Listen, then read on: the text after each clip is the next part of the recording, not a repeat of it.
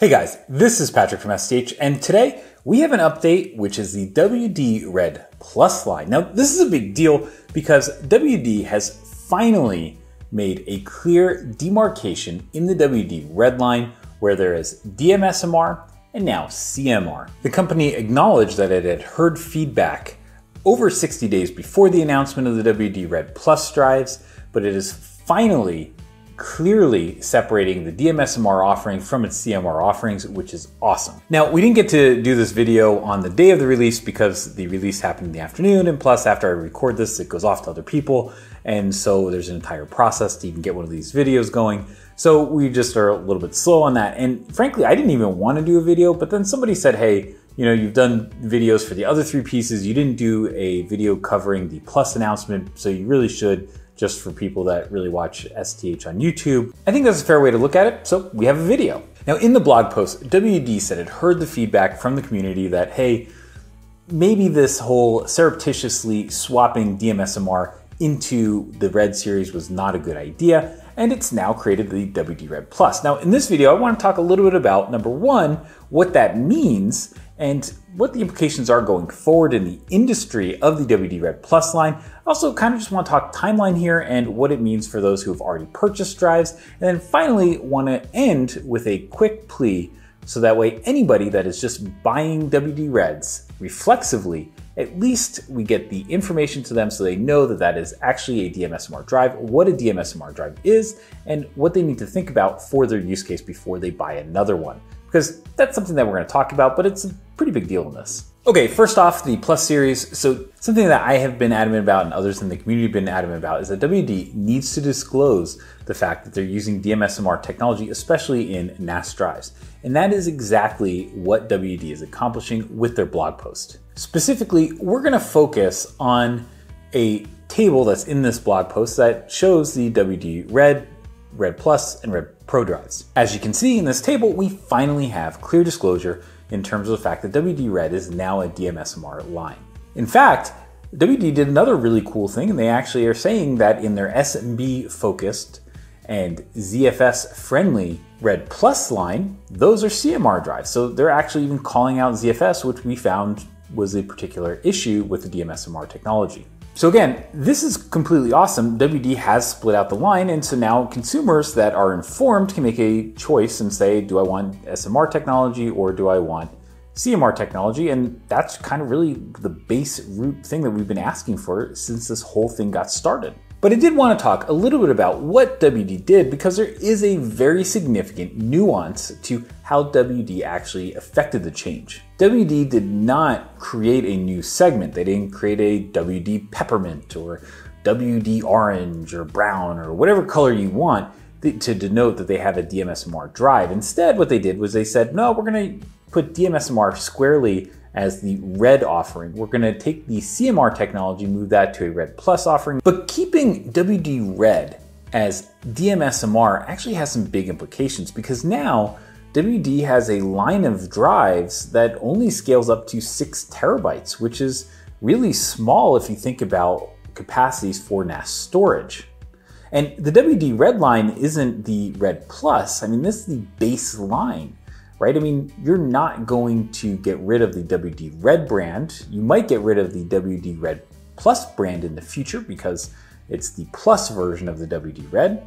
And so, if you think about it, WD actually, by putting the CMR drives into the Plus sub brand, they now have something that they put the WD Red CMR drives into an expendable brand. And while Red Plus is now expendable, the WD Red line needs more drives. And so if you think about hard drive manufacturing and sourcing all the materials, getting through production, all that kind of stuff, there's a long train that takes a long time, it's very hard to move and adjust course on. Well, then that kind of tells us, a, or at least gives us a good sense that WD is planning more DMSMR drives for this market. So either A, they're going to have to stop that entire train of materials, manufacturing, etc., and stop the WD Red line at the current capacities and then just only have the Red Plus and Red Pro, which would be kind of weird.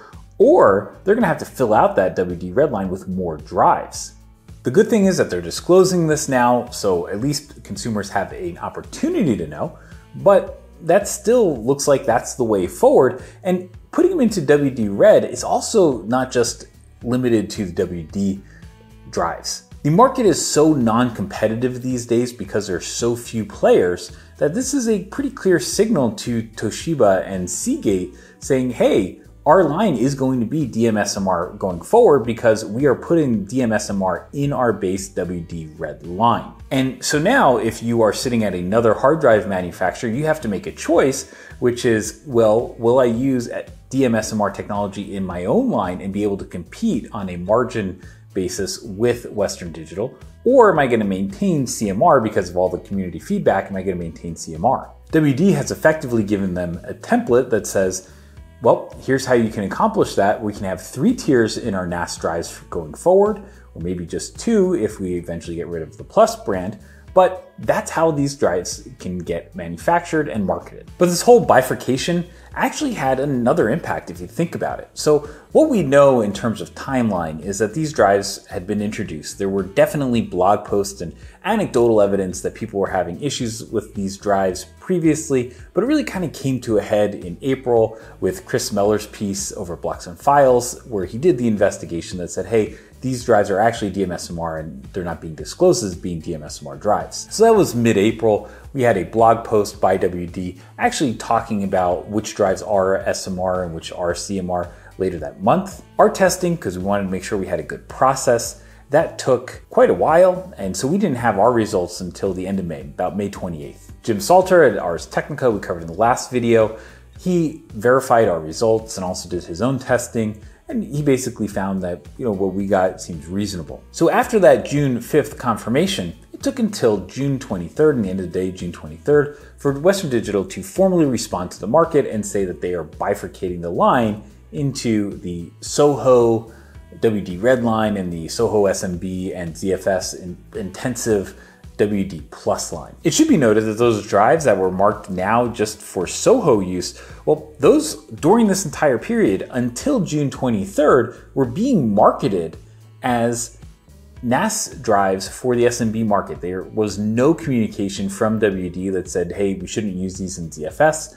You had to go read STH, and lots of you did, but you had to go read ours or STH or one of the other sites that covered this, our testing, to be able to figure out that it wasn't a good drive for ZFS NASs. And the implications of that are actually really big because at least by Jim Salter's Ars Technica confirmation on June 5th, and between that and June 23rd, when the new WD Red Plus drives came out, WD knew or should have known that their drives were unfit for the purpose that were, they were being marketed for, and that's a big deal. Now, one could argue that the day should have been a little bit earlier. Instead of June 5th, maybe the day was May 28th when we came out with our piece. Maybe it was actually mid-April when the blocks and files pieces started came, coming out, or maybe it was even before that because WD was out in the market saying that DMSMR is no good and they knew that it didn't work with ZFS. But at the end of the day, whatever timeline you want to spin, there was definitely a period where Western Digital knew or should have known that the drives that they were selling were unfit for the purpose that they were being marketed and advertised for. And now that WD has effectively made this admission, well, I mean, there are processes around the world that will go and figure out what the recourses are, and that's cool. So if you bought drives recently you're just finding out about this now, or maybe you found out and you have the drives and you want to figure out what you can do, well, your job is basically to go find a way to get yourself into those processes, whatever they are in the jurisdiction that you're watching from. But before we end this video, and hopefully this is the last one we do on the subject because I'm just tired of covering it, I just, again, I just want to make a plea to our readers and those watching this on YouTube that we look out for the folks that are vulnerable in this entire thing, that can't really help themselves. Those are people that, number one, may not have access to different drives because of where they live, because of income disparities, whatever it is, they just may not have access to better technology like the WD Red Plus drives. And so they just go and buy WD Red because that's the best they can get. Now that WD is responsibly disclosing the fact that they are DMSMR technology drives, I think that's good. We just have to make sure that everybody in the market knows what DMSMR means. And that kind of brings us to the next use case, which is people that just don't really follow technology. So if you know someone that's tech savvy, that uses NASs, but doesn't necessarily keep up on, hey, this thing says it's DMSMR or SMR, what does that even mean? You should be a good tech citizen and explain what DMSMR means, because you may have that knowledge if you're watching this video, but others frankly don't because that's not their day job, that's not their passion to keep up on, they just want their files to be stored.